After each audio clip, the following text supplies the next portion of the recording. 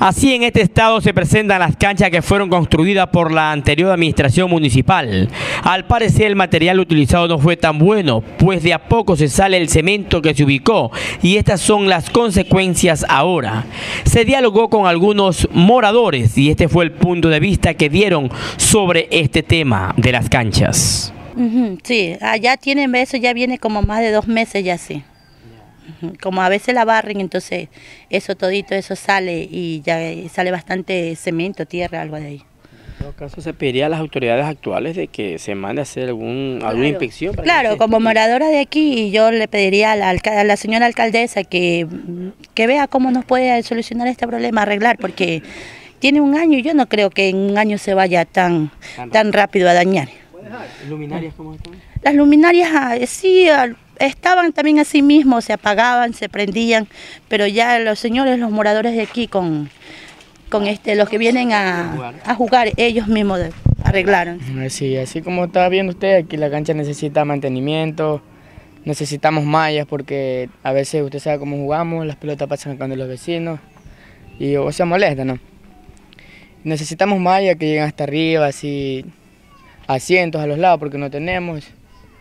Y entonces pedimos a la alcaldesa que por favor nos ayude con eso lo más pronto posible, ¿no? Porque ya no más inicia vuelta el otro campeonato y necesitamos eso. Está puro, se llena de agua, aquí tiene que hacer primero el encerramiento porque si la laboran aquí a como está, la misma cosa viene a quedar porque no tiene por dónde salir el agua aquí.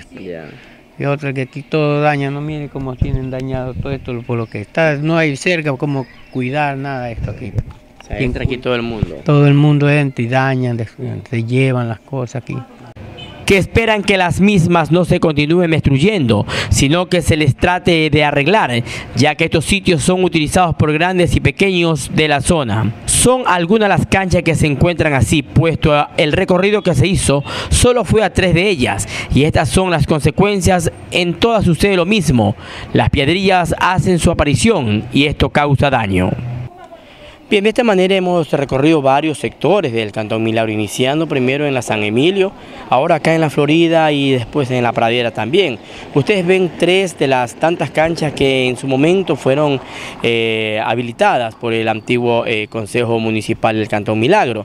Las consecuencias son las mismas, las canchas se están deteriorando, las piedras están saliendo, eh, moradores que las tratan de cuidar, pero piden también a la autoridad principal, en este caso la señora economista Denise Robles, les ayude con el mantenimiento de las mismas, el cerramiento y la construcción de un parque, que es lo que están requiriendo acá. Así también se espera aún la ejecución de una pequeña cancha en el sector de la pradera Grupo 6. Todo esto lo están viendo los moradores para ver si de esta manera se masifica un poco más el deporte y se saca a tantos niños y jóvenes del problema del alcohol y la droga que por falta de estos campos deportivos a veces pasan las esquinas pensando a ver qué se hace. Y ahí es cuando llega el amigo que te ofrece aquella sustancia mágica que dicen te lleva a otro mundo o aquel trago de alcohol con el cual comienzas a perder tu vida. Esperemos que este llamado de atención tenga eco en nuestras autoridades y sabemos y estamos confiados de que la economista Robles va a cumplir poco a poco. Vamos a estudios.